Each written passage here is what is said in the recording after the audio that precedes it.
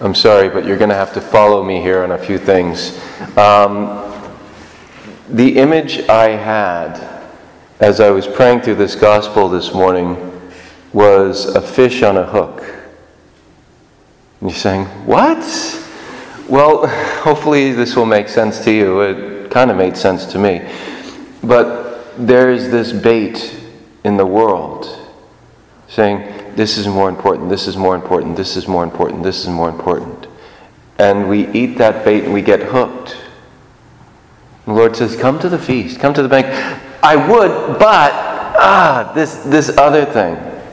And those times when we recognize this call to the banquet, this call, of course, to the Eucharist and, of course, to the heavenly banquet, we, we recognize this call and say, Yes, Lord, help me to get off this hook. Set me free from these things which are, are attachments that keep me from going to you, Lord. And He does. But then what happens? That worm's looking really good. And I know I got caught last time, but still, the worm tasted good. And we go back and we get hooked again. Maybe, maybe not you. Maybe it's just me. I know this is me. This is my life, the story of my life. And I say, Lord, I want to give everything to you. He says, and I want to receive everything from you. And I say, great, set me free from this hook, which is, and he does. But then, ah, ugh, ugh.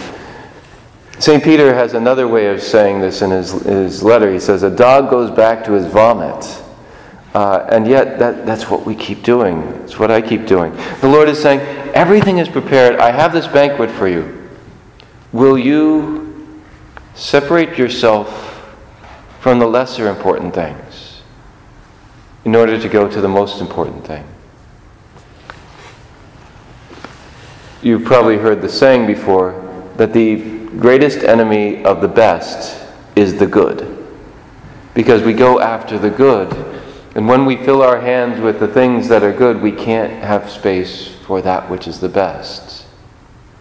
But this is good. Yes, yes, this is good. But sometimes we have to let go even of the good for the best. I mean, you look at the excuses. You know, I purchased a field and have to examine it. That's good. It's a good thing to do. I purchased five yoke of oxen and on my way to evaluate them. Yes, this is good. I've just married a woman and therefore I cannot come. He doesn't say any excuse why. I don't know if it was his wife didn't want him going or what, what the issue was. But all these things are good. But we have to let go of the good for the best.